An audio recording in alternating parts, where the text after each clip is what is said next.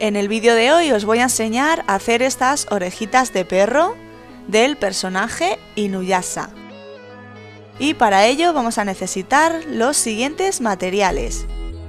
Fieltro de color rosa, tela blanca con pelo largo, unas tijeras, un bolígrafo y vamos a necesitar también una regla y un cuaderno, en el cual vamos a marcar una línea de unos 9 centímetros.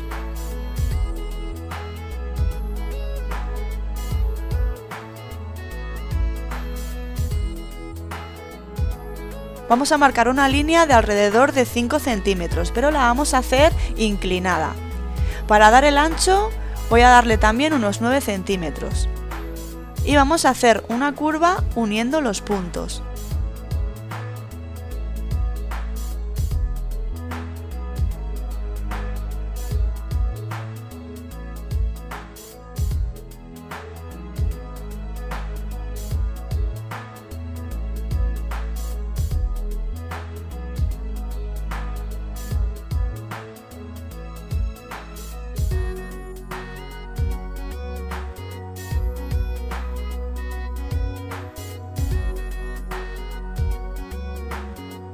Cuando ya lo tengamos todo unido pasaremos a recortar y lo que vamos a hacer va a ser unir esta punta con la parte recta de abajo y nos tiene que quedar algo más o menos así.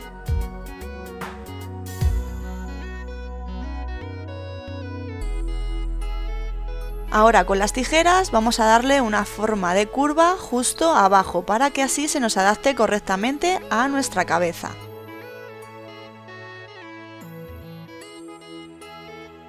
Una vez que lo tengamos, nos tiene que quedar el molde más o menos de esta manera. Y ya solamente faltaría pasarlo a la tela. Cogeremos la tela con el pelito largo y la vamos a poner del revés.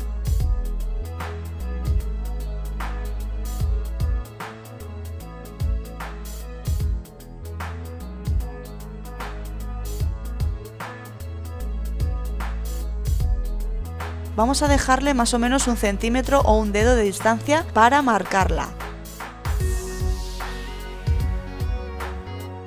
Lo vamos marcando todo alrededor con el boli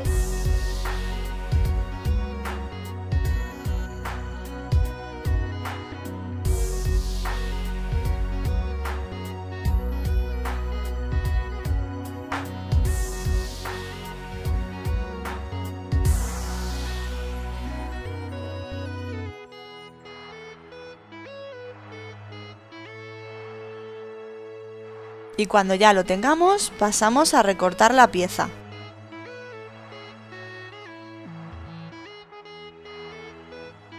Una vez que la tengamos recortada simplemente le daremos la vuelta, pondremos el pelito hacia arriba y vamos a marcar la parte trasera de la oreja. Como ya le habíamos dado el centímetro de más, no hace falta que lo volváis a marcar, simplemente vais pasando el boli alrededor de la pieza y lo recortáis.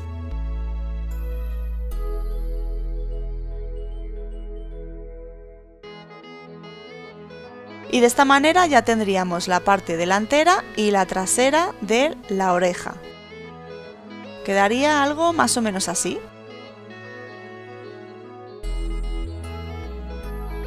Ahora para coserla la vamos a poner derecho con derecho, o sea que el pelito quede hacia adentro y la vamos a coser por todo el borde menos por esta parte de aquí que la dejaremos sin coser. Cuando ya la tengamos cosida, como veis hemos dejado este hueco para así poder darle la vuelta a la tela.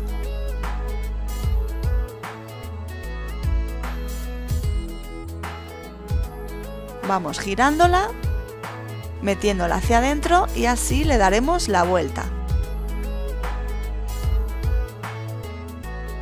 De esta manera el pelito quedará hacia afuera.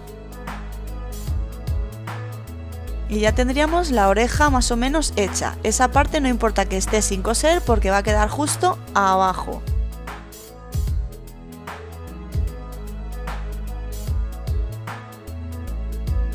Con el molde que habíamos hecho antes, Lo que vamos a hacer es meternos un centímetro hacia adentro y vamos a marcar la misma forma. Lo vamos a recortar y este nuevo molde nos va a servir para hacer la parte interior de nuestra oreja.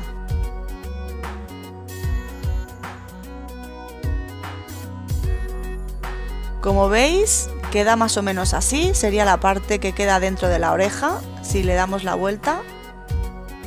Lo que sí que tenéis que tener en cuenta para hacer oreja izquierda y derecha es que los picos quede uno hacia cada lado para hacer una oreja izquierda y una oreja derecha. Como veis los picos quedan hacia afuera.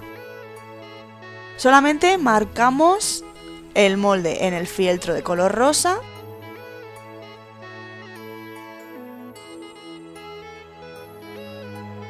Las recortamos y las pegamos con un poquito de silicona líquida.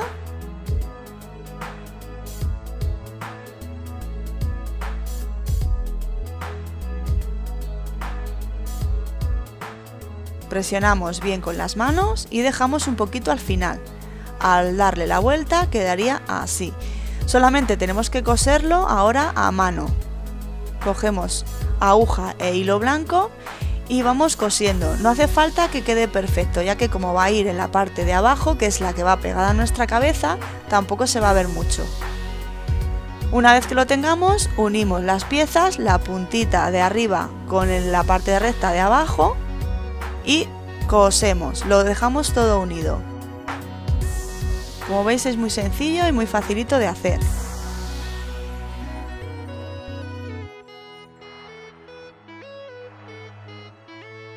Y una vez que lo tengamos todo unido, quedará algo así. Una oreja perfecta.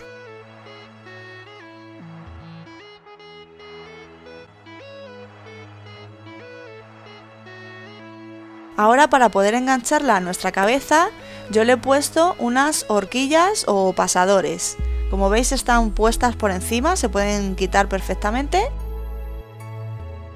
esto nos vendrá bien para poder sujetarlo a nuestro pelo o a la peluca que llevemos. Si no queréis poner pasadores, podéis pegarlas a este tipo de diademas. Simplemente las pegáis y os quedaría algo así.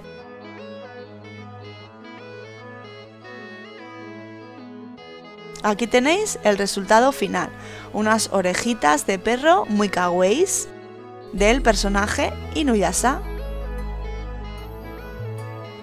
Espero que os haya gustado y os haya servido esta forma tan fácil de hacer unas orejitas de perro del personaje Inuyasha.